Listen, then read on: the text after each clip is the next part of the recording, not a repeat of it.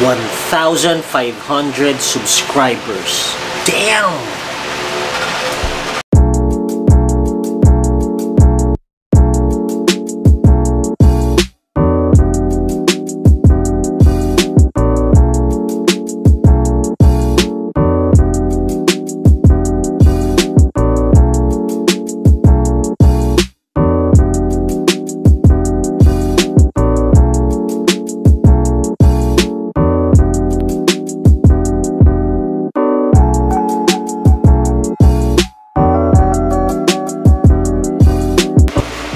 Okay, so title pa lang, siguro naman alam nyo na kung ano yung pag-uusapan natin dito.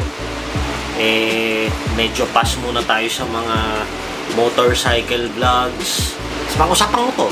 Gusto ko lang na magpasalamat sa inyong lahat, sa mga naniwala, simula nung umpisa pa lang na yung channel is kahit papano, merong value na maibibigay sa mga nanonood dito.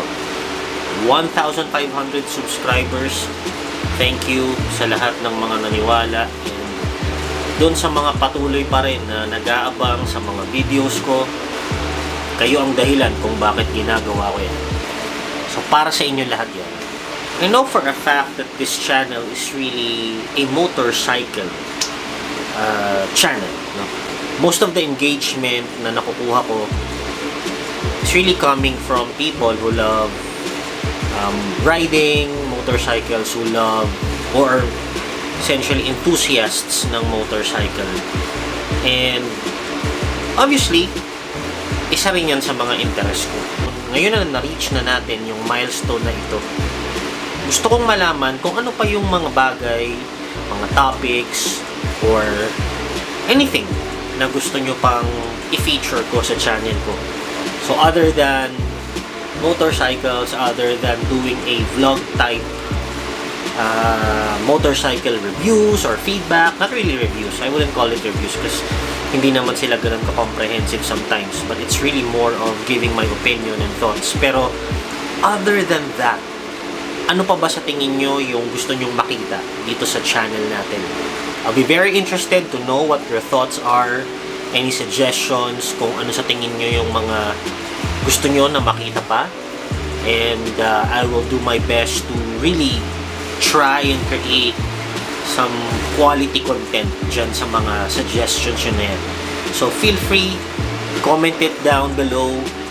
Um, and then I will go through it, read it, uh, interact with you more, and uh, hopefully, no, we can mix it up uh, as far as the content is concerned para sa channel na to. So, yun lang. It's really a very short video. I'm grateful for all your support the channel natin and uh, let me know about your thoughts, your feedback, your suggestions about what you want featured dito sa channel natin and again, I'll do my best to uh, isama natin yan sa susunod na mga videos pa natin. Okay?